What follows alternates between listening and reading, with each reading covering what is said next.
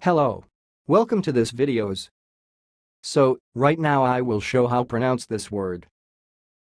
The word you see is sounds like ineffectuality. Ineffectuality. And I will repeat again, but slowly. Ineffectuality. Ineffectuality.